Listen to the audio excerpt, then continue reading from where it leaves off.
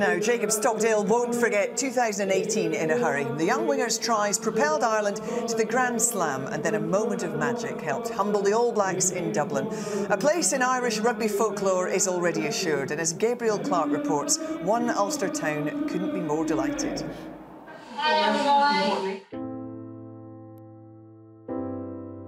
Jacob, when he was small, used to joke and say, I'm going to play rugby for Ireland someday. And he used to go, yes, son, right.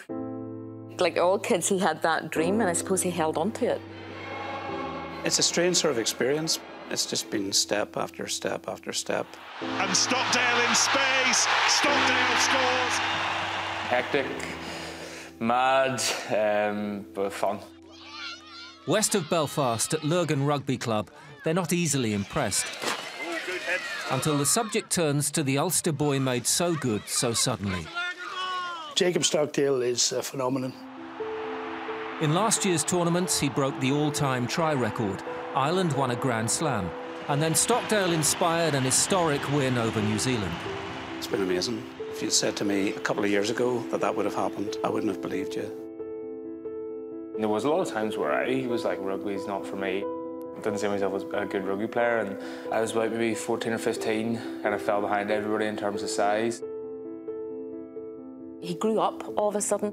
He also really disciplined himself to put in the training. He was bigger, he was faster, he was stronger. He has that attitude that if you don't get it right the first time, well, you learn from it and you do it again and you get it right the next time. I just feel incredibly lucky that I did keep playing and I didn't decide to pack it in because I love playing rugby and if I wasn't playing for Ireland, I'd be playing for Lurgan. His impact has resonated most in Northern Ireland, at his province Ulster, and of course his club. Lurgan is a town that needs its narrative changing. Unfortunately, Lurgan has had a, a dark history as well as a very proud history. The 70s and 80s, the town was decimated by car bombs and sectarian murders. This area that we live in has been known as the Killing Triangle. Lurgan obviously was pretty infamous during the Troubles, and obviously there's a lot of combat that went on during that time and hasn't really lost that stigma. We were lucky enough that Jacob and his family have taken us on board. They are really a part of the fabric of the club. Rugby's in the blood. His grandfather played to a high level. Dad wasn't bad, but there was another calling. I work as the coordinating chaplain in Maghaberry Prison, which is Northern Ireland's high security prison. And I was approached to see if Jacob would come in to be involved in a scheme to encourage prisoner confidence and well-being. My visit into the prison made me appreciate that the guys in there are just normal guys, you know, who just have made a mistake somewhere down the line and trying to correct their lives. Jacob invests a lot into young people, the childhood he's had, how things have come together for him, and he would see that as something that he would want other people having the same opportunity for.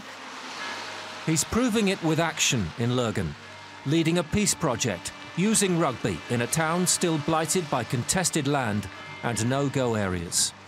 There is still a divide. Some pockets of Lurgan are in the top 10 most socially deprived areas in the country. Two weeks ago, he went into four local schools. He's actually been responsible in enrolling over 200 of those kids for our Peace 4 programme.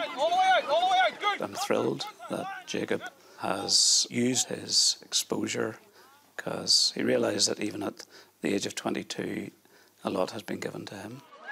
We're really the only professional sport where there's a team in all of Ireland. In every other sport, you have to choose one or the other. Rugby, you don't. People look at that and, and they realise that it's not just a sport that's only for one side of the community, and I think that's massively important. He may come across as quite relaxed and easygoing, but Jacob at the same time takes life very seriously and he's very determined to be the best in the world. I've no doubt that there's a load more Irish tries to come in him, so Brian O'Driscoll, watch out. Jacob's coming for your record. You've brought the Six Nations trophy back to Lurgan. What chance the World Cup? I don't know, that's a dangerous question to be asking now, but uh, if we win the World Cup, I'd say the, the cup will definitely be coming to Lurgan at some point, yeah.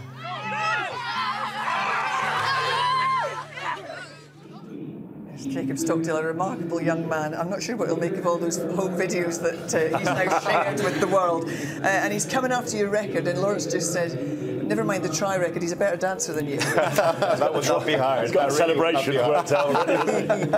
Peter Crouch wants his dance back. uh, he is, you know, clearly a, a, young man with a, a social conscience, just mm. 22 years of age, and, and already recognises the role that he can play in his community. It's, it's impressive. It's incredible. Like he's had an, a, phenomenal two and a half years since he broke onto the scene, and if he continues with his current strike rate, he'll have that record by the time he's about 26. Uh, it's been so prolific.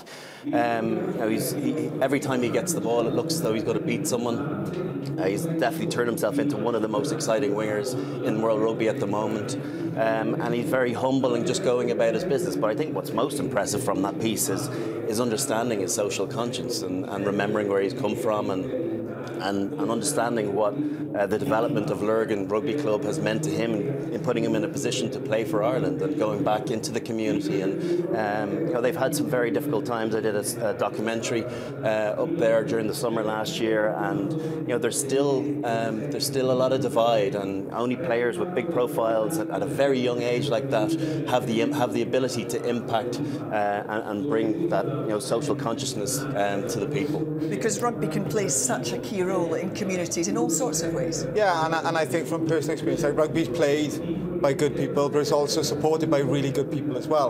Um, and when, on my personal case, when you know when I was uh, at a hate crime attack, I didn't ask for support, but the rugby community came together, players, international teams, wore laces, um, and, it, and I tell what rugby is really good at, I believe, in being proactive. It's not reactive to situations like what Jacob has done there. He's decided on his own account at a young age to go out and be proactive to make a difference, not reactive to something that's happened. Yeah, and his father clearly, with the work he does within the prison, is right at the heart of the community. And it would be easy for his son just to take a back seat. Actually, I'm just going to get on with my rugby career. But he recognises what he's already done, as Brian said, in a very short space of time. He's a real role model. And we know that the values of rugby can really help, particularly in socially deprived areas, uh, for people to turn their lives around. So uh, it was a lovely, lovely piece there with Jacob.